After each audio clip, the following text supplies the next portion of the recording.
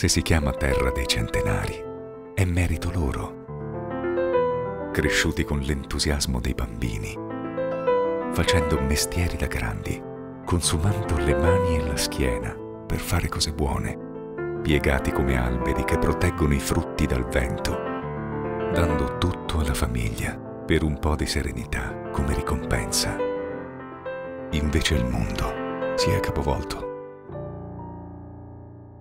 E ora che gli abbracci sono armi, tocca a noi difendere il tempo più prezioso, quello che ci rimane con loro. Oggi l'amore è stare lontani, per stare più vicini domani.